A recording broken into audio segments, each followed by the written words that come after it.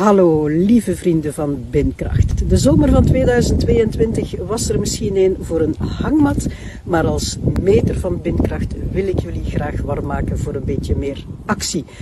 Meer bepaald de 24 uur van Binkracht. En dus hoop ik dat jullie op zaterdag 10 september opnieuw massaal op de fiets springen en zoveel mogelijk kilometers trappen voor onze bewoners. Want die hebben de centen nog altijd zo hard nodig. En ik blijf het zeggen, ik heb het vorig jaar ook al gezegd, 1 euro per kilometer, dat is nu toch echt geen geld. Hè?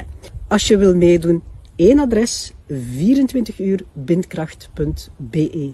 Dus hopelijk zie ik jullie allemaal op 10 september in Landen. En tot dan.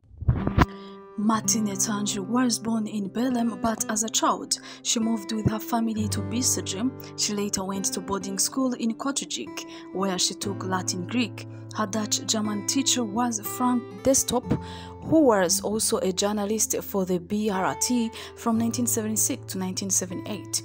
Tanghe studied Germanic philology at KU Leuven and initially taught Dutch summer courses to political refugees from Latin America.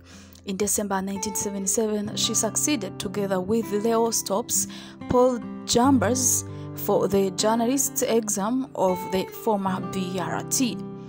The selection started in September with a thousand candidates and ended with 11 only in December.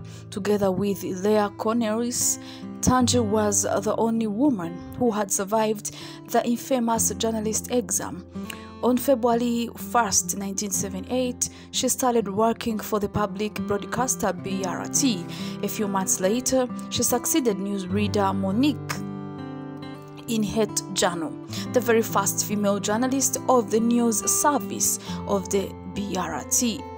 In the first years, she combined reporting work at home and abroad with the presentation of Het Journal in the studio. Tanghe first took a career break in 1980s to sail halfway around the world with her husband for a year.